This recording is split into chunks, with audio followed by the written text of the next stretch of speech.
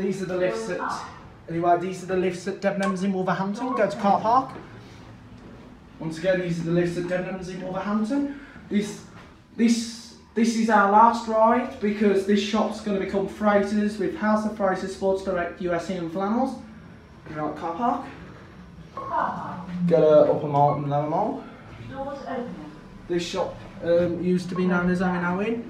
And TJ Hughes with a Kone M series and home living and then they replaced it with an ink with Kone Monospaces. Capacity 21 person, 1600 kilograms, year built 2017. Upper Mall. 17, here we are Upper Mall, go to Lower Mall. Doors closing. Look in the mirror as you see, hey now, really gonna miss these lists, but these are gonna be used for Frasers. Here we are Lower Doors and that's it.